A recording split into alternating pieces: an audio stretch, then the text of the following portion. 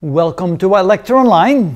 This is where we left off on the previous video. Of course, there was supposed to be an integral sign here on the integral of dq on the left side, which means we're going to integrate over the entire black body radiation curve to come up with the Stefan-Boltzmann's law, at least the intensity portion of the Stefan-Boltzmann's law.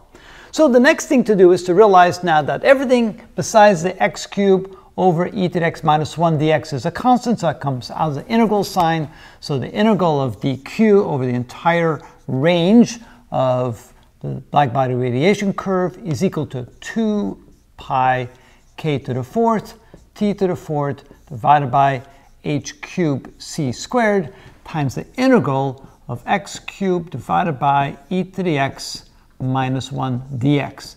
And now, of course, we have this handy integral table that told us that the integral here is equal to pi to the fourth over 15. So let's go ahead and replace that. That means that the integral of dq is therefore equal to 2 pi k to the fourth t to the fourth divided by h cubed c squared and times pi to the fourth over 15 and then if we bring all that together, we say the integral of dq is equal to 2 pi to the fifth, k to the fourth, t to the fourth, divided by 15 h cubed c squared.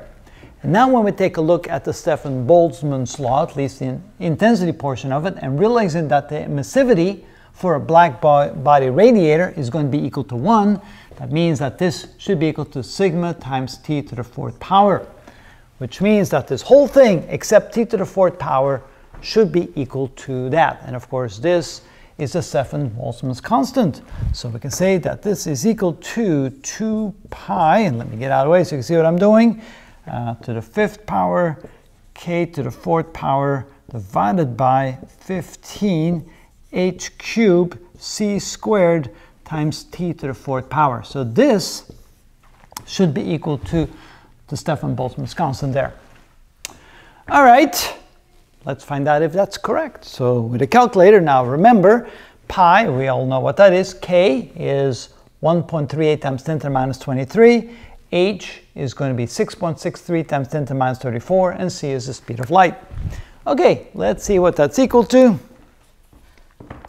And if you remember what that constant was, remember we're looking for sigma is equal to 5.67 times 10 to the minus 8, and that would be equal to watts per uh, meter squared per Kelvin to the fourth power. So this is what we're looking for to be contained within the parentheses here. Let's find out if that's true. Of course, we're going to have some slight rounding errors because the um, let's see here, Planck's constant is not exactly that. It's 6.626 times 10 to the minus 34 and so forth. C is not exactly 3 times 10 to the 8, but we'll get close enough, I think. So let's see.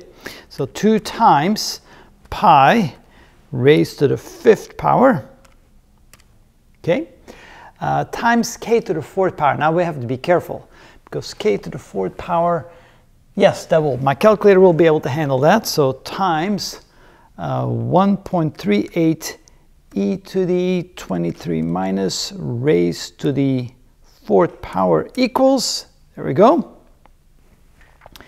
Now, let's see, we're going to divide that by 15. So divide by 15, that works. Now divide by h, well, we got to be careful because h cubed, my calculator won't be able to handle that. So let's divide by h. So divide by 6.626 e to the 34 minus, yep. And now we're going to divide by 6.626 e to the 34 minus squared. I guess I put on 6.626 because I'm so used to doing that. And that's equal to, and now we have to divide by c squared. So divide by 3 e to the 8 squared equals, and guess what I get? So this is equal to 5.65 times 10 to the minus 8 times t to the fourth power. And notice, did we get close? And we sure did. We didn't get quite 5.67, we got 5.65, but that's close enough, times 10 to the minus 8. And so you can see that by integrating over the black body radiation curve, the equation that represents that curve, we end up with the emission, the power emission, or the intensity emission of the Boltzmann's, uh, the Stefan Boltzmann's law. quite amazing how that actually works. And that's what they had to do to show that from this, they could arrive at the Stefan Boltzmann law. They were pretty smart because I would have never done that on my own. That's how it's done. Aw, so sad.